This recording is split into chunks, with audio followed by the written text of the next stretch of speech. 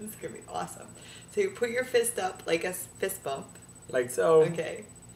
But when you when they go to fist bump, you go snail. I'm gonna be so popular blogger. It's going to be awesome.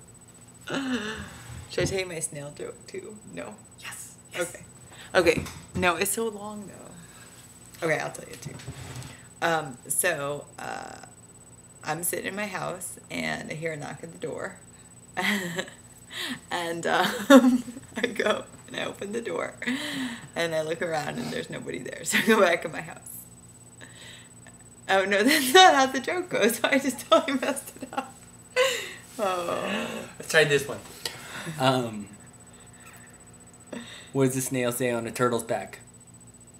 Whee!